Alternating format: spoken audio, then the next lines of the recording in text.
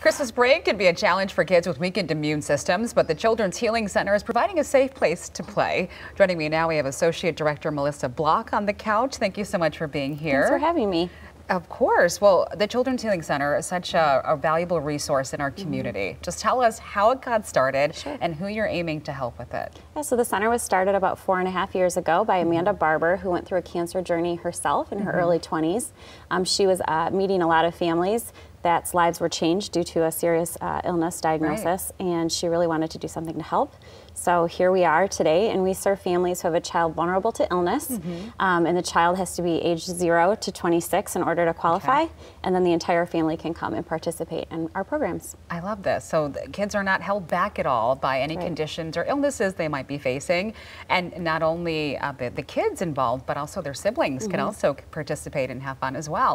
Let's talk about uh, what's happening during the holiday break. You guys have many fun-filled themed days ahead. We do. we do. So our uh, holiday break camps are all H themed this year. Okay. Um, so next week we're kicking it off with a Harry Potter Day where the kids will get to dive into the wizard wizarding world of yeah. Harry Potter. Uh, That's going to be fun. It's going to be really fun.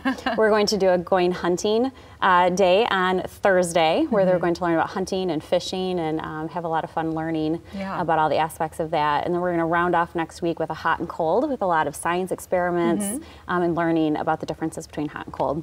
Mm -hmm. And then the following week, we're going to have a Happy New Year, which I think is going to be my favorite day. We're going to yeah. do a ball drop and have the kids do all. Kind of earlier in the day, so the right. kids get that experience. Yep, for okay. those younger kids.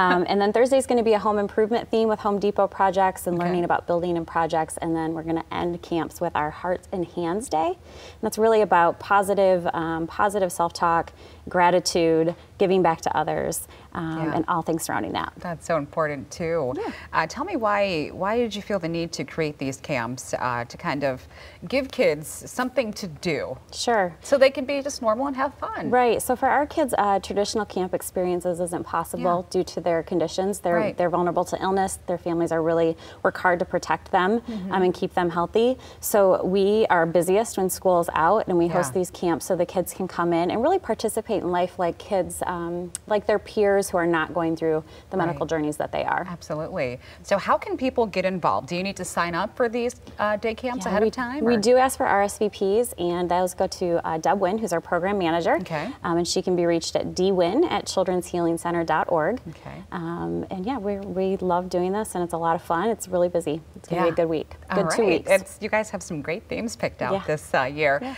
Uh, where can people learn more about the Children's Healing Center uh, if they're not able to mm -hmm. attend the camp, but still want to in the future? Certainly. It's www.children'shealingcenter.org. Okay. Amazing work that you guys do in Thank community. You. Thank you so much for being here, Melissa. Appreciate, Appreciate it. it.